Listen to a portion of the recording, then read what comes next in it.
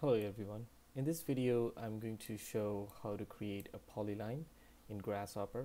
In order to do that, let's double click on the Grasshopper canvas and type polyline.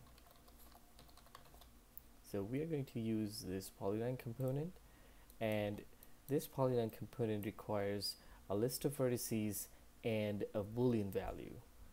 Let's see what it does. So a list of vertices is basically a list of points in this case I'm going to generate a list of points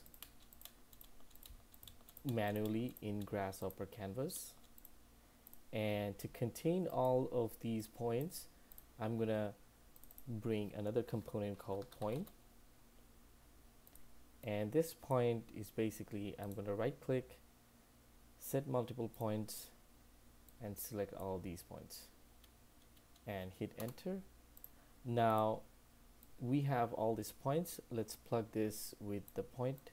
And there you go. This is a polyline in grasshopper. And now this closed one is basically doing um, whether this polyline is going to be a closed polyline or an open polyline. So by default it comes with a false value. But if we provide let's say a true value by bringing the boolean toggle component and plug this over here and double click on it make it true.